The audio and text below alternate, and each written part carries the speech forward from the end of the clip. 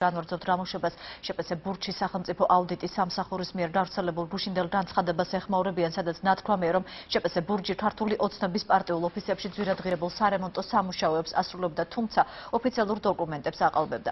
კონტრარგუმენტები ერთ კომპანიაში ბურჯი აცხადებენ, რომ მოგველაძის უწყება იტყვება და მეცხრე არ სტიმ ხელშეკრულებებს აჩვენებენ, რის საფუძველზეც კომპანია ოფიციალურად ეთყოს კოალიცია ქართულ ოცნებაში შემავალ პარტიებს სატრანსპორტო მომსახურებას.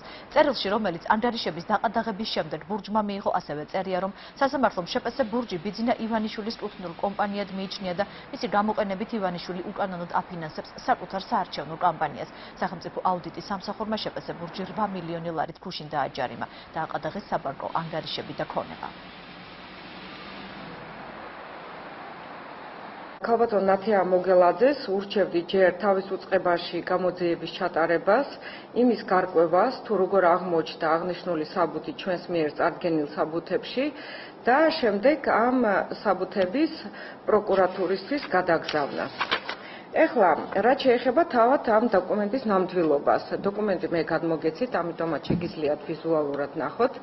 მის სიყალბეზე მეტყველებს არა მხოლოდ სათაური, არამედ შინაარსი. არის მითითებული ესეთი მისება თბილისი გორგასალის 91 ოფისის რემონტი. 120000 დღესვე შეგიძლიათ მიხვიდეთ გორგასალის 91-ში და ნახოთ რა რემონტია საერთოდ შენობა თუ ღირს ამდენი ნახოთ რა ხდება იქ. აი ძალიან მაინტერესებს მინდა რომ მიხვიდეთ და დააფიქსიროთ